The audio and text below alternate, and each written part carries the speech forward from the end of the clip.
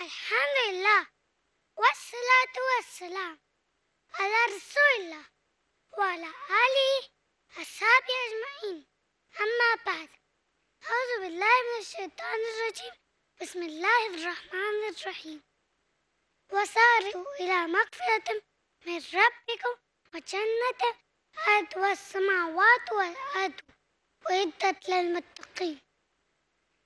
رب اشرح لي صدري ويسر لي أمري وعلى عقدة من لساني يفقه قولي My respected elders and my dear brothers and sisters, I welcome all of you with the Islamic greetings.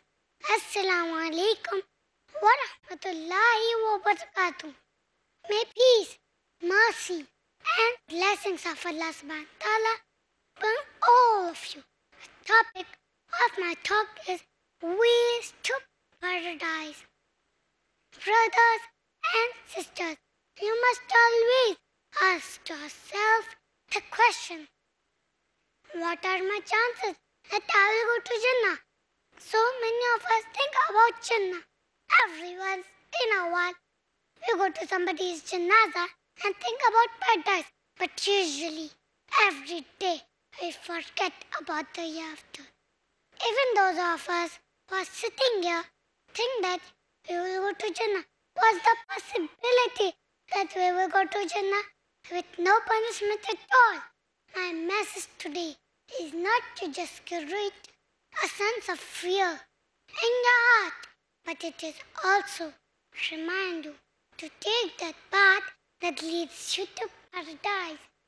The first thing you need to be is to be humble and never boast about your good deeds. You know why? Because nobody can earn Jannah just by the amal alone. That is Allah's mercy, along with your works, that will give you the gift of Jannah.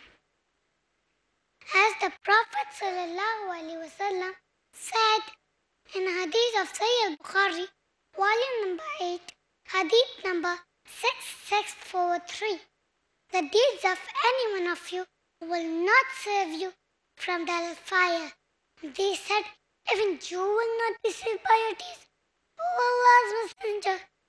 He said, no, even I will not be saved. Unless and until Allah bestows His mercy on thee.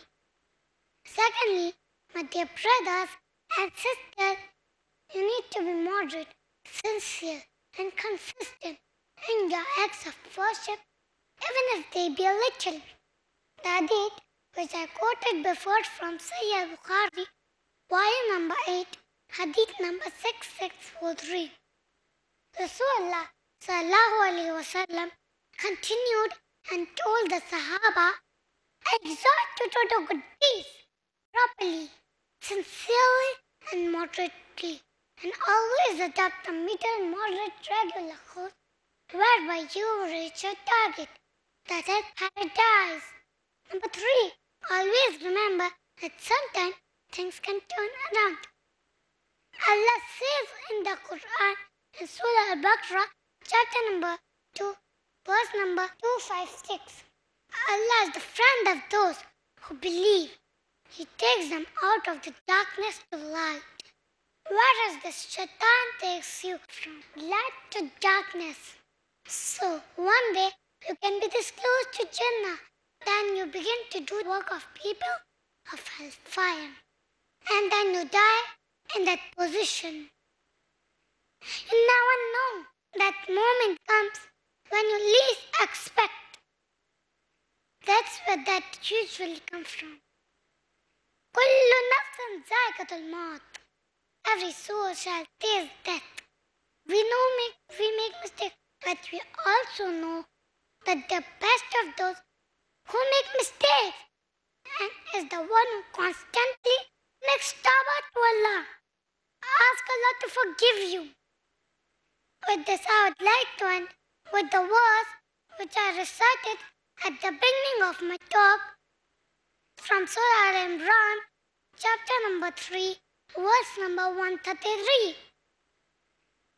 وسارعوا إلى مغفرة من ربكم وجنة الأرض والسماوات والأرض أعدت للمتقين. Be quick in the race for forgiveness from your Lord and for a garden whose width is that of the heavens and earth. Prepare for the righteous. وآخر دعوانا أن الحمد لله رب العالمين. والسلام عليكم ورحمة الله وبركاته.